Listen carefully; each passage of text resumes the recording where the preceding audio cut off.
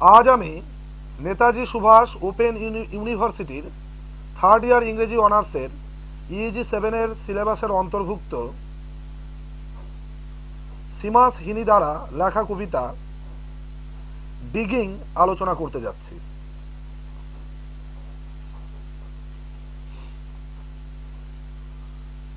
কবিতাটি শুরু করার, কবিতাটির আলোচনা শুরু করার পূর্বে আমরা প্রথমে জেনে নিই কবি সীমাস হিনির বিষয়ে কিছু কথা। উনিশশো উনচল্লিশ সালে আয়ারল্যান্ডের কান্টিডেরিতে কবি সীমা সিনির জন্ম। ষাটের দশকের বেলফাস্টে কবি কবি গোষ্ঠীর অন্যতম একজন কবি ছিলেন তিনি। তার পিতা ছিলেন একজন কৃষি, কৃষিজীবী, যার জন্য তার শৈশব ও যৌবন তার পিতার খামার বাড়িতেই কেটেছিল। ন ভাই বোনের মাঝে হিনে ছিলেন সবার বড়। কুইন্স বিশ্ববিদ্যালয় থেকে ইংরেজি ভাষা ও সাহিত্যে প্রথম শ্রেণির অনার্স ডিগ্রি প্রাপ্ত হন তিনি। বিশ্ববিদ্যালয়ের পত্রিকায় তার প্রথম কবিতা ছাপা হয়। সাহিত্য পিপাসু তরুণদের নিয়ে একটি সংঘ গড়ে তোলেন। পরবর্তীতে তিনি কর্মজীবনে তিনি ছিলেন একজন শিক্ষক। হিনি মূলত ইতিহাস, দেশীয় সংস্কৃতি ও ঐতিহ্যের আশ্রয়ে কবিতা লিখতেন। তার কবিতাগুলো ছিল প্রকৃতির কাছাকাছি। অনেকে তাকে ইয়েটসের উত্তরসূরি মনে করেন। তার প্রথম কবিতা সংকলন ডেথ অফ আ ন্যাচারালিস্ট প্রকাশিত হয় উনিশশো ছেষট্টি সালে।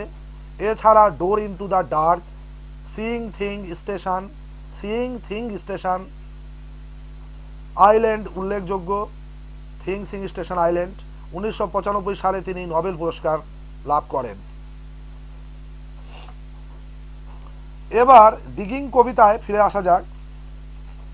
ডিগিং কবিতায় সীমা সিনি শারীরিক শ্রমের সাথে মানসিক শ্রমের কথা বলেছেন। কবিতার শুরুতে খুবই খুবই শক্তিশালী কিছু শব্দ আমাদেরকে আলোড়িত করে। কবিতার কলমকে বন্দুকের সাথে তুলনা করেছেন।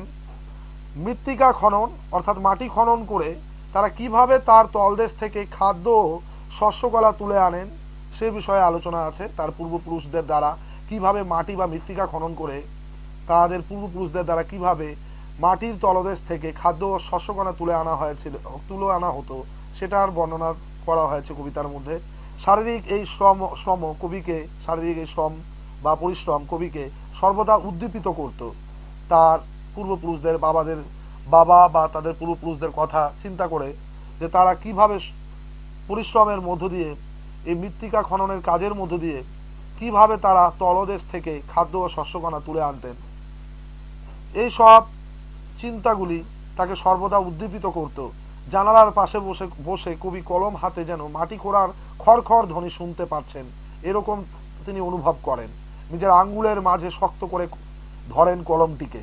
অবশেষে তিনি প্রতিজ্ঞা করেন যে তার পাতা পিতামহেরা যেভাবে কঠিন মৃত্তিকা বা কঠিন এই মাটি থেকে কঠিন মৃত্তিকা থেকে খনন করে তুলে এনেছেন যেভাবে শস্য সম্ভার, তিনিও তার কলমকে তেমনি খননকারী রূপে ব্যবহার করবেন। এইভাবে কবিতাটি শেষ হয়। আশা করি তোমরা কবিতাটি ভালো মতো বুঝতে পেরেছ। আমি ভিডিওটির নিচে ডেসক্রিপশন বক্সে ডিগিং কবিতাটির উপর এই বছর টার্মিন এক্সামিনেশনের জন্য যে প্রশ্নগুলি ইম্পর্ট্যান্ট সেগুলি উল্লেখ করে দিয়েছি এবং সাথে উত্তরের লিঙ্ক দিয়ে দিয়েছি।